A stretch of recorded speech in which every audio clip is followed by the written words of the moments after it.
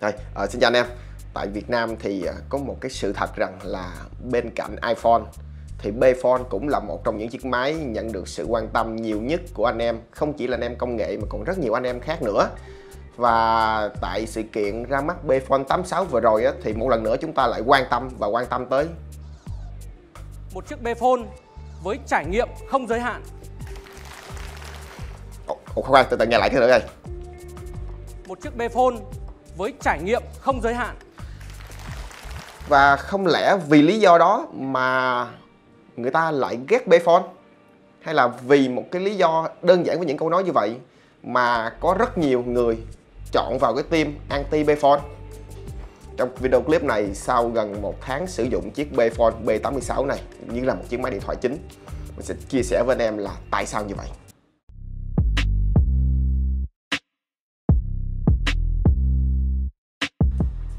Và có thể nói rằng cái điểm đầu tiên mà mình muốn đề cập tới khi mà mình nhắc tới những cái trải nghiệm của mình đối với Bphone B86 đó chính là cách mà BKV họ hoàn thiện cái chiếc máy này. Và có vẻ như là do họ hoàn thiện nó nó giống như là những cái cách mà Sony họ hoàn thiện những cái chiếc Xperia Z của họ, hay thậm chí là nó giống với lại việc là cách đây vài năm. Apple làm với lại những cái chiếc iPhone đời 6, đời 7 của họ. Mình nghĩ đó là lý do tại sao người ta ghét iphone và đó là cách mà mình muốn ví dụ để mình đề cập tới cái việc là BKV họ đã nỗ lực như thế nào trong cái việc hoàn thiện và thiết kế cái phần bên ngoài của cái chiếc Bphone B86 thật sự mà nói thì mình là người đã từng sử dụng Bphone từ những cái phiên bản đầu tiên và có thể nói là dành khá là nhiều thời gian với nó khi mà mình được cầm chiếc Bphone B86 tại cái buổi lễ ra mắt, cái ấn tượng đầu tiên của mình đó chính là cái cách mà BKV họ hoàn thiện chiếc máy, cho mình cái cảm giác mà mình cầm trên tay á, nó rất là ấn tượng. Và cái điều ấn tượng đó nó diễn ra xuyên suốt trong cái quá trình mà mình sử dụng chiếc máy. Thật sự mà nói thì cái cách mà họ kết hợp hai cái vật liệu nhôm và kính và cách mà họ làm khuôn viền, cách mà họ gia cố những cái khu vực hoặc là họ cắt những cái đường, những cái cổng kết nối, nó liền lạc và nó rất là dễ chịu, nó không hề ọp ẹp. Và thực sự mà nói á, thì cái ý tưởng mà so sánh giữa Bphone B86 về mặt hoàn thiện hay là về mặt thiết kế của máy á, mà so sánh nó với lại một cái chiếc điện thoại khá là tên tuổi như là Xperia Z của Sony á đó không phải là ý tưởng của mình mà lấy tưởng của một người bạn mình trong một lần mình đi uống bia với người bạn đó người bạn đó cầm chiếc Bphone của mình. Thì thật mà nói thì rất là khó để có một người nào đó chịu đi tới và cầm một chiếc Bphone mình nghĩ là họ cũng không có nhiều cơ hội để làm chuyện đó đặc biệt là đối với Bphone 86 tuy nhiên thì người bạn đó sau khi cầm lên bóp bóp sờ sờ nắng nắng người bạn đó đã nói với mình rằng nó giống với lại Xperia Z về mặt hoàn thiện. Ờ, rõ ràng cách mà BKV họ làm ra cái chiếc máy cho mình cái cảm giác cầm cho mình cái cảm giác nhìn vào. Và thậm chí là cái cách mà họ xử lý cái cụm camera nó hơi lồi lên. Mà anh Nguyễn Tư Quảng đã gọi rằng là bếp còn của chúng ta thì nó giống với bếp từ hơn đúng không ạ? Ok. Rồi mình không có phản đối với cái ý tưởng đó của anh ấy. Mặc kệ ai muốn gọi sao gọi nhưng mà tự chung lại cái cảm giác cầm Bphone 86 luôn làm cho mình hài lòng. Dù vậy thì đối với một chiếc điện thoại, một chiếc smartphone, một cái thứ mà anh em sử dụng gần như là mỗi ngày và rất nhiều lần trong ngày, dành thời gian cho nó, thì rõ ràng cái lớp vỏ bên ngoài, cái phần mà anh em có thể nhìn thấy được từ bên ngoài. BKHV họ gọi là tốt gỗ đó. Nó chỉ mới là một nửa của vấn đề thôi, nửa còn lại.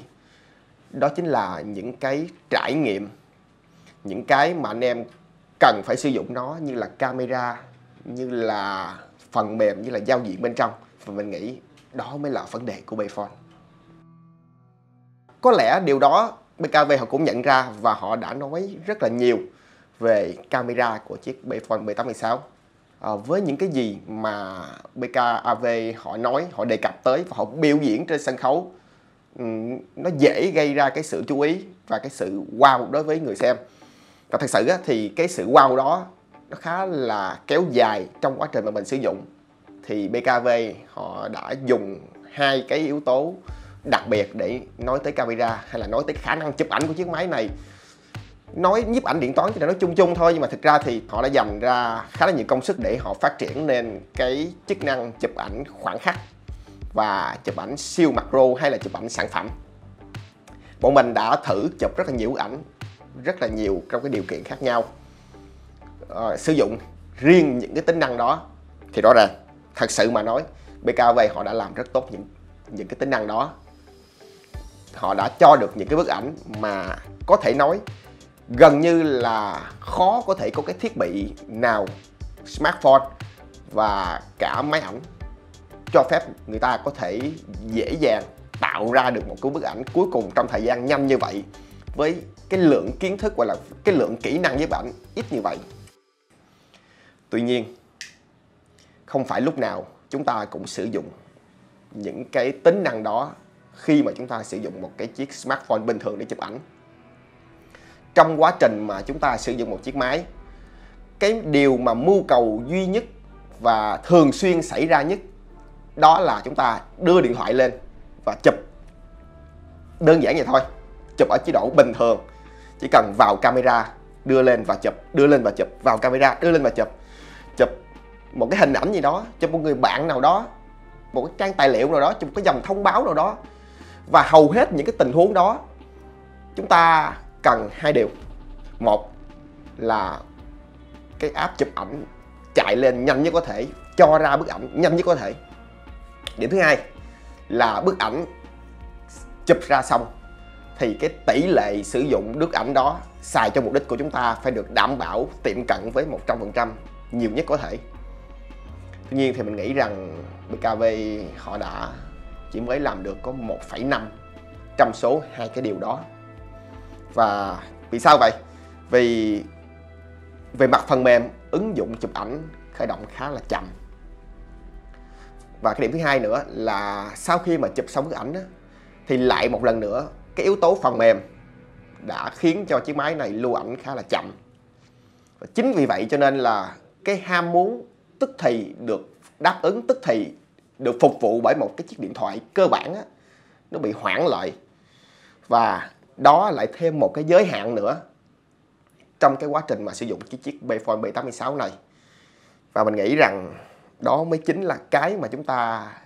cần phải biết khi mà chúng ta muốn ghét Bphone B86 thật là đáng tiếc bởi những cái lỗi nhỏ là những cái hạn chế những cái giới hạn về mặt phần mềm như vậy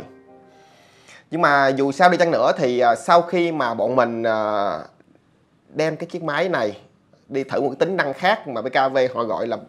IP68 cộng, thì rõ ràng bọn mình thật sự à, cảm thấy là tự tin khi mà mang nó xuống nước.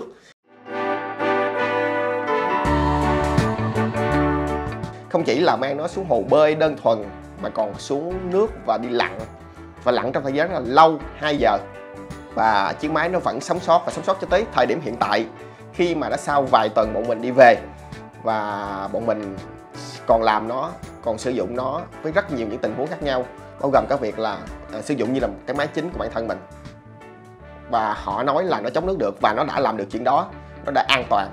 trước rất là nhiều những cái tình huống có nước nguy hiểm khác nhau. Nhưng mà rõ ràng họ nói được và họ làm được và nó diễn ra thì đó gần như là một cái mà họ không hề nói sai về cái chiếc máy không hề nói sai khi mà họ giới thiệu chiếc máy.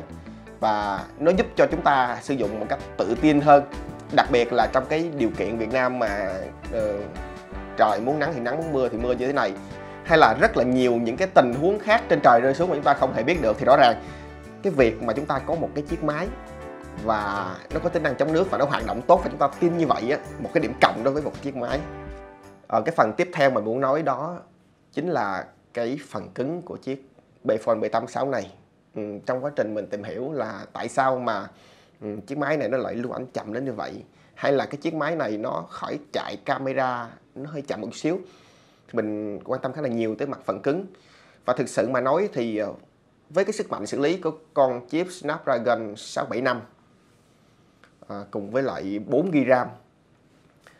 có thể nói đó là một con chip hay là một cái tổ hợp phần cứng không hề yếu nó đã xuất hiện trên rất là nhiều những cái chiếc máy khác.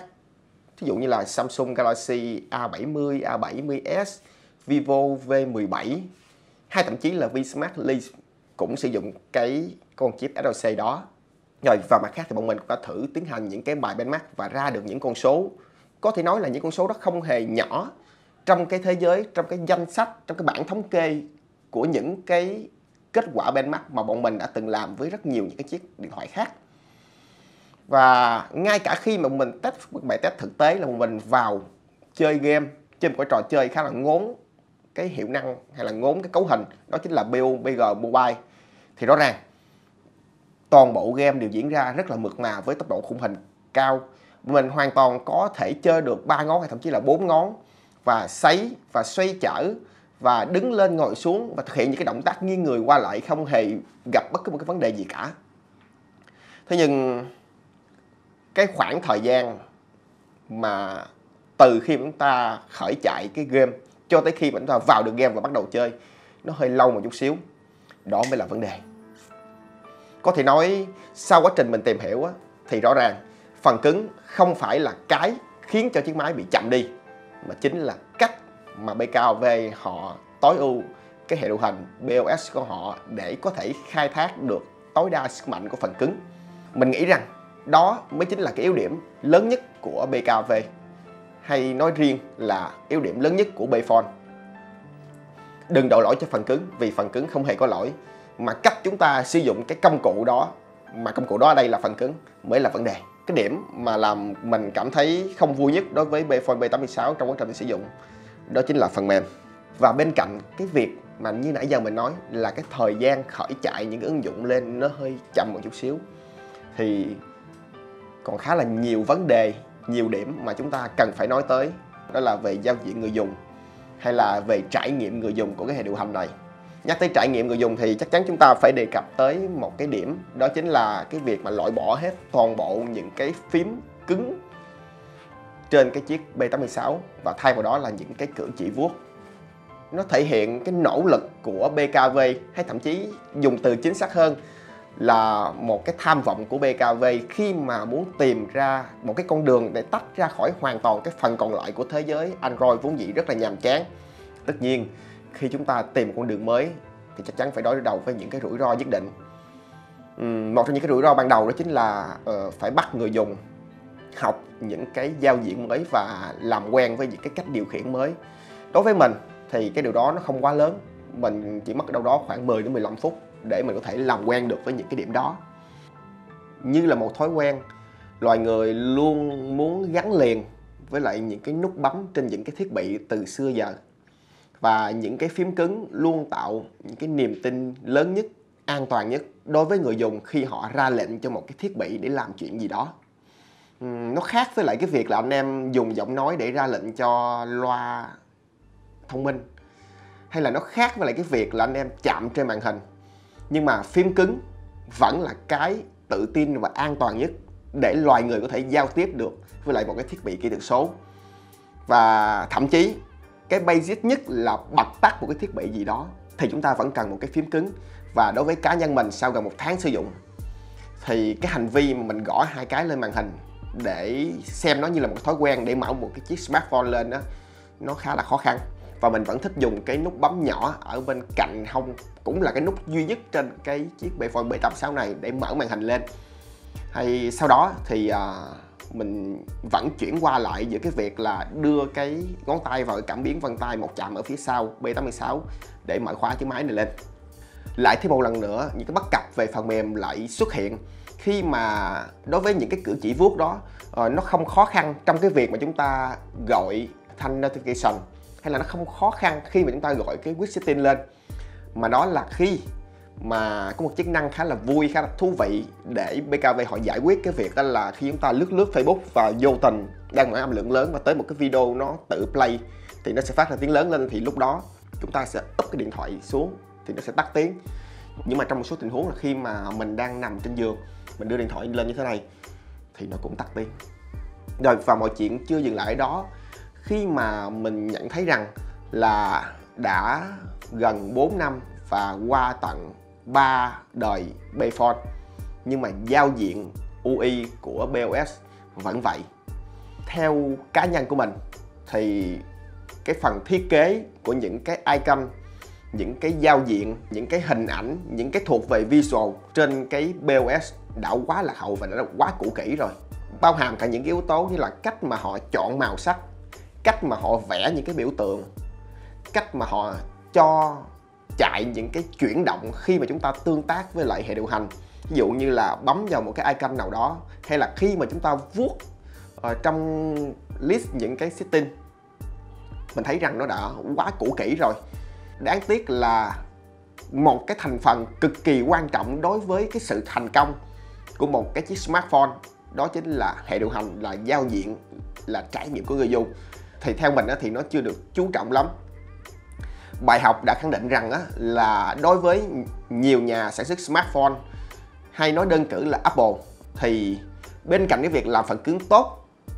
thì UI, UX hay cụ thể là iOS và trải nghiệm của người dùng đối với iOS cũng đóng góp một thành phần cực kỳ lớn trong cái sự thành công của iPhone. Và có lẽ mình nghĩ rằng BKV cần phải học tập cái điểm đó nhiều hơn. Không phải là toàn bộ BOS không có cái điểm gì đáng khen hay là đáng thú vị. Ừ, một số cái điểm mà mình khá là thích. Thí dụ như là cái tính năng mà cho phép hệ thống tự nhận diện những cái tin nhắn rác những cái tin nhắn quảng cáo những cái tin nhắn từ tổng đài mà thậm chí là mình không bao giờ mở lên mình không bao giờ cần quan tâm. À, tất cả đều à, được tắt thông báo và đưa vào một cái mục mà có thể nói là không gây cái sự chú ý của mình. Mình khá là thích tính năng đó hay là một số cái tính năng khác như là cái tính năng tìm Bphone thất lạc à, bởi cái sự hỗ trợ rất là lớn của những cái dịch vụ sẵn có của BKV tự quét những cái phần mềm độc hại. Dù sao nữa thì BKV họ cũng xuất thân là một cái hãng chuyên bảo mật một cái tập đoàn bảo mật. Vì vậy cho nên là những cái tính năng đó luôn tạo ra cho mình một cái lòng tin về cái tính an toàn của những thứ mà mình cài lên cái chiếc máy này nhân tiện ở đây thì có một cái vấn đề ờ, mà nhiều anh em khá là quan tâm đối với B86 nữa đó chính là trong Play Store thì tại sao mà ờ, uh, B86 lại không có được cái chứng chỉ Protest của Google? Ừ, phần này mình thấy BKV họ đã trả lời họ đã feedback và um, mình thấy là cái câu trả lời đó cũng khá là hợp lý. Và trong quá trình sử dụng á, thì mình cũng không có bị cái đó ảnh hưởng quá nhiều tới cái trải nghiệm của mình. Cho thậm chí là mình cũng không quá căng thẳng với cái việc đó mình quan tâm đến những cái khác.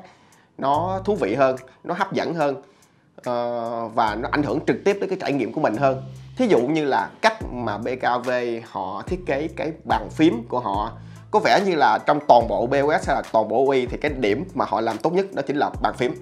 Có thể nói thì à, cái cảm giác mà anh em nào sử dụng vừa iPhone vừa Android á em sẽ biết được cái cảm giác là gõ trên cái bàn phím của iOS đó, nó ít lỗi hơn nó đã hơn thì cái điều đó nó cũng đúng đối với lại cái bàn phím mặc định ở trên Bphone và một cái điểm khác cũng ảnh hưởng cực kỳ lớn đối với cái trải nghiệm của người dùng đối với một chiếc điện thoại đó chính là thời lượng sử dụng pin. Sau kết quả test pin của bọn mình và sau cả cái thời gian sử dụng thực tế á, thì Bphone B86 có tổng thời gian on screen là khoảng 5 tiếng. Và có thể nói ờ, đó là một con số không nhiều đối với một chiếc điện thoại dù vậy thì à, theo một thống kê cho thấy là trung bình một người Việt chúng ta mỗi ngày có tổng thời gian on screen trên một cái chiếc smartphone đó nó vào đâu đó khoảng 3 tiếng. Thì rõ ràng cái con số 5 tiếng đó về mặt số liệu thống kê á, là vẫn còn phù hợp. Dù vậy đối với những cái người mà sử dụng nhiều hơn lướt Facebook nhiều hơn xem YouTube nhiều hơn hay là à, có nhiều cái nhu cầu khác thậm chí là chơi rất là nhiều trận PUBG thì à, đó là con số rõ ràng là không đáp ứng được. Nhưng mà dù vậy thì mình đối với thời lượng pin của một cái chiếc điện thoại mình không quá căng thẳng ở năm 2020 này khi mà chúng ta đã có rất là nhiều công cụ sạc và sạc với tốc độ rất là cao. Ở đơn cử trong cái trường hợp của Bphone thì ờ, sạc từ không lên 100% nó tốn khoảng đâu đó một tiếng rưỡi. Mình sống trong cái điều kiện là lúc nào cũng có điện và xung quanh mình đều có dây cáp sạc. Cho nên đối với mình á, thì cái chuyện mà sử dụng xong một chiếc máy và cắm sạc nó thì nó không quá căng thẳng. Mà đối với nhiều anh em khác à, thường xuyên đi ra ngoài à, thì rõ ràng cái việc mà chúng ta sử dụng điện thoại thì cái việc mà chuẩn bị sẵn cho mình những cái pin dự phòng hay là một cái chỗ nào đó đi sạc điện thoại mình nghĩ rằng nó cũng tương tự như là mình biết xe mình có bao nhiêu xăng để mình chủ động đi đổ vậy đó. Và thêm một điểm nữa đó chính là chúng ta sẽ có một cái màn hình. Và rõ ràng thì cái chất lượng hiển thị cái màu sắc cũng như là uh, cái độ tương phản của màn hình của Bayphone B86 hoàn toàn đáp ứng được đối với những cái nhu cầu của mình. Khi mà mình đọc mình lướt web thậm chí là mình chơi game hay là xem youtube tuy nhiên thì nếu mà ra ngoài nắng như là lần vừa rồi mình đang ở giữa trời nắng và giữa biển mình muốn mở lên để mình xem được những cái video hay là những cái tấm hình mà mình vừa chụp á thì rõ ràng thì cái độ sáng của màn hình nó chưa được đủ để mình có thể thấy rõ được những cái nội dung trong đó một cách dễ dàng. Rồi, và nãy giờ mình nói tới rất là nhiều và mình nghĩ rằng anh em cũng đã rất là chán khi mà nghe giọng của mình cũng như là khi mình nhìn thấy mình từ nãy giờ rồi. Nếu như mình đánh giá cực kỳ cao, việc BKV họ tìm cách sáng tạo thông qua những cái tính năng rất là đặc biệt, hay là mình đánh giá rất là cao cái việc mà BKV họ hoàn thiện cái chiếc máy, họ chăm chút nó từng cái đường nét trên chiếc máy đó thì bên cạnh đó mình lại khá là thất vọng khi mà họ không dành nhiều nguồn lực hơn cho cái việc phát triển giao diện người dùng hay là trải nghiệm của người dùng thông qua cái lớn nhất là cái BOS và mình hy vọng rằng là sau video này, trong thời gian tới thì sẽ có một cái bản cập nhật nào đó thật sự lớn, thật sự ý nghĩa như là một cuộc lột xác đối với BOS thì mình nghĩ rằng là trải nghiệm của người dùng đối với B Phone B86 sẽ được nâng lên thành một bậc. Nó xứng đáng hơn với cách mà BKV họ đã hoàn thiện cái chiếc máy này. Thì mình hy vọng rằng à, nếu vẫn giữ cái cách mà họ hoàn thiện chiếc máy chăm chút nó hơn một xíu nữa về mặt phần mềm và tiến hành thêm một số nâng cấp mạnh mẽ hơn chút xíu nữa về mặt phần cứng tối ưu tất cả mọi thứ được kỹ hơn cho phần mềm và phần cứng nó trở nên hòa quyện với nhau hơn thì mình nghĩ rằng Bphone B86 nhân 2 hay là Bphone 5 gì đó sẽ được đón nhận nhiều hơn và ít bị ghét hơn. Còn hiện tại thì à, cái lời mà anh Quảng nói rằng là và chúng tôi gọi là tốt gỗ tốt cả nước sơn. Thì mình nghĩ rằng là chốt lại một câu Bayphone B86 chỉ mới tốt gỗ thôi. Đó cũng là những gì mà mình muốn chia sẻ với anh em về những cái trải nghiệm của mình với một chiếc máy rất là đặc biệt Bayphone B816 còn bây giờ mình là Minh Đức trên mạng xã hội tinh tế.vn và hẹn gặp lại em ở những video khác.